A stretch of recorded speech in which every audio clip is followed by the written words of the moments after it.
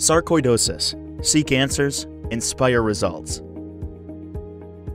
I kept having shortness of breath when there was no real cause. I wasn't doing anything physically taxing or overexerting myself, but I kept struggling to catch my breath. Then I got this painful, bumpy rash on my shins, and my knees got severely stiff and sore. My doctor prescribed topical and oral medications that alleviated the pain and reduced the rashes and patchy skin. And while my sarcoidosis seems to be under control, I do experience a number of side effects from the medications I take.